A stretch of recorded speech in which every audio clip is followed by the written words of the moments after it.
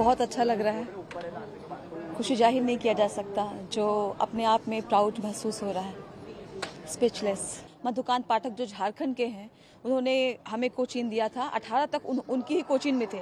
लेकिन कोविड के बाद हो सके फेडरेशन के पास पैसे की कमी कोच को सैलरी की कमी इसके कारण कोच हमने शायद हमें नहीं दिया गया। लेकिन कहा भी ये गया कि कोच आएगा अब आएगा आएगा लेकिन लास्ट तक नहीं आया। लेकिन हमें तो परफॉर्म करना था इसीलिए हमने तीन महीना की मेहनत जो थी वो आज रंग लाई है। आज इस मुकाम तक पहुँचे हैं आ, सिल्वर तक पहुँचे हैं कल इसी सिल्वर को गोल्ड में चेंज करना है।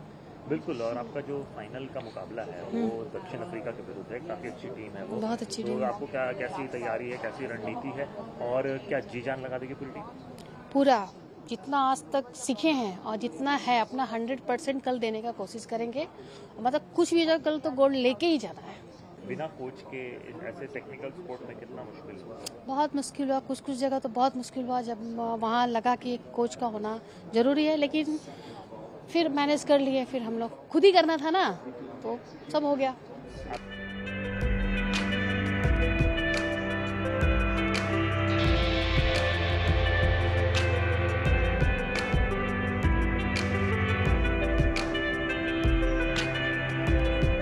टेक वन अब आपके व्हाट्सएप पर। व्हाट्सएप करिए hi nine seven two eight two five three six six three पर।